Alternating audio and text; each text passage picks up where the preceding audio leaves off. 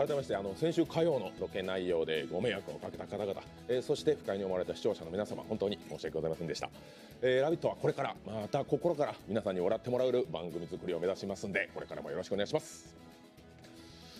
さあ太田さんいかがだったでしょうか？どんなタイミング？いや無理無理。